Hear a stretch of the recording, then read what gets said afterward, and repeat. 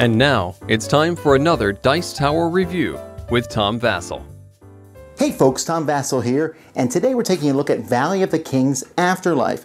Now, this is a complete small little deck building game, but it's also a sequel to Valley of the Kings, and they also can be combined. So, because of that, I'm not going to be explaining how to play this game. Go watch my Valley of the Kings review if you'd like to see that. Instead, I'm going to be talking about the cards in this game and a little bit about how they combine. Here it is.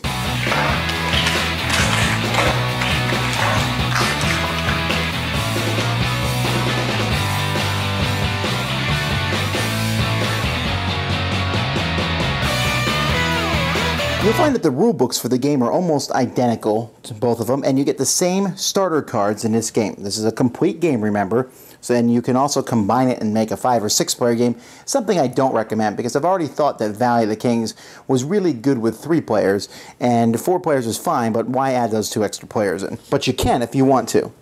So what we're going to do here is we're going to take a look at some of the new cards for the set. And the way this game works is the same as the original game. But if you want to mix them, you can use like all the red cards from one set or the red cards from another set. So if I want to mix some of each, I can, as long as you have one set of each color. You can also take one of each card from the sets, both of them, put them together in some big mega set, and there you can play that you need to get uh, both different cards. There's different ways to play, and one of the ways you can play is where you can get a ton of points because you get a ton of different things. But anyhow, let's take a look at these cards. Um, this is the Mummification set where there's three different cards. Here you can entomb a card, and every opponent with at least one card in their draw deck draws a card. Or you can take a card that the person to your left selects, which as the game goes by gets more and more powerful. My favorite card from the set, though, is the Grain Hook. I like this one because you reveal the top card of the stock, and you can buy it for two less than its cost and then if you don't sacrifice it. I don't know, there's something about that. You can get stuff early. This really helps out when you get to set three cards because they're cheaper in that regard.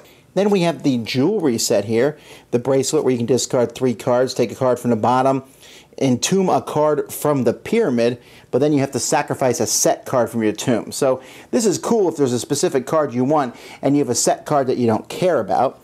The necklace, entomb the top card of your deck. If it's a starter card, you can do a second one.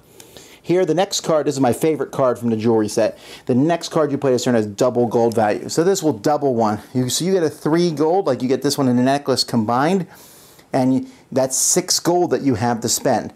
A very useful combo, and if the ring shows up early, it's one I like to buy. Then we have the Offering Chapel. That lets everyone entomb the top card of the discard pile. Discard any number of cards from your hand, and you draw cards equal to that, so you can clear through your hands. Set aside some cards from one hand, add them to the next hand. Search your discard pile, put a card into your hand, and then put a card from your hand into an opponent's tomb and entomb a card from your hand or discard pile. This one's useful because you can put junky cards, those starter cards, in your opponent's tomb and then get a good card from your hand or discard pile. So you can play a card the previous turn and then entomb it with the burial chamber. It's also worth three money. I like that. Then we have the dagger. This is the weapon set here. And everyone gets the top card of the boneyard. So cards that can be gone forever may come back with the dagger. The axe is one of the few, like, really in the other person's face type card, where everyone has to discard the highest cost card in their hand. Or here, when your opponent entombs a card, you can discard the sling, and entomb a card costs three or less. These are okay cards. The spear is better if the top card of the boneyard costs five or less, entomb it. Another card that lets you get things out of the boneyard. Or here, take a set card that is not of the same set as any card in your tomb and entomb it. So that's very interesting. Um, it's it, it's it's it's odd because you're only going to be able to use the bow a few times effectively because eventually you will have um, the cards of the different sets in your tomb, but it can help you get a very specific card if you want to. And then this one is my favorite. Just discard a set card and take a card. You know, just very simple, but it's also four gold. Then we have the Tomb Art set. Everyone discards a card or sacrifices a card or discards two. Entomb a card in play, very powerful. Entomb a level three card from your hand or discard pile. Set aside a card and take the top card of the boneyard. Do that as often as you want. And then the cards you set aside, you sacrifice. You're trading cards for cards from the boneyard. Sacrifice the top card of your discard pile. Take a card. Select an opponent. That opponent can take a card with the lowest cost. You take the card with the highest cost. This is one of my favorite cards too. I just really like the idea of this one, and I also like the idea of this one. This entomb any number of starter cards. Now this one's fun. At the beginning of the game, you get this, and you can really clear your deck out of these starter cards. Now you gotta be careful because if you do it too quickly, you'll find that you don't have any good cards to entomb as time goes by. Or I mean, you, you have a tiny deck which isn't very useful but it's still one that I think a lot of people will take. It really culls the deck down. Then we have some more unique cards. Take a card, and then you stick this card back in the pyramid, draw a card, put this on top of someone else's discard pile, and then they put a set card on top of your discard pile. So there's another negative one. Put a card into in play into your hand. Put the next card you take or buy this turn into your hand. Discard four cards, take two cards, and then entomb the top card of the stock, which could be amazing. It's random, but you never know, and it's also 5 gold, but it does cost 10. So these are the cards in this set. So I guess the first question would be, if you could only buy one of these two sets, Vasel, which would you buy?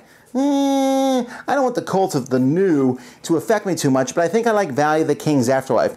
I felt like there were a couple fewer cards that were negative towards your opponent, and there were more cards that let you pull stuff from the Boneyard, which is something I like. Um, there's just some cards in here. I love the doubling the money card. So I think there's more favorite cards of mine in here, but it's not a hard sell. I could play either one. I do like owning both. I like mixing and matching the sets. It's not that difficult to do. I just keep the cards from one side or one half of the box cards from the other side, and then just pull a set of red cards or blue cards. I don't do the half sets thing too much. For one, it would I think it's good that there's two copies of each card in there. It gives, you know, if your opponent gets a card, you still might have a chance to get that same cool card and or you might be able to pull off some combos. But it does give you variety because there's lots of different combinations of the different colors that you can take. So this is a good addition. It doesn't do anything majorly different. You can buy this straight up as an expansion, and it doesn't add any major new things. It's in fact, like I said, the rule books were pretty much identical. It plays the same way. It just provides different cards that are nice, easy to understand cards, and a lot of variety to what is already an excellent deck building game. I still don't think the 5 and 6 player part is worth it, but if you want more cards and just some variety from game to game, definitely check out Valley of the Kings Afterlife. Dice Tower Judgment into my collection. Thanks so much for watching the Dice Tower videos. Find more great videos and reviews, as well as our top rated audio podcast at Dicetower.com.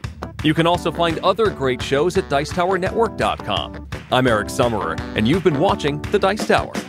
The Dice Tower is sponsored by Cool Stuff Inc., where you can find great games for great prices. Cool stuff in stock. Check them out at coolstuffinc.com. Shut the door!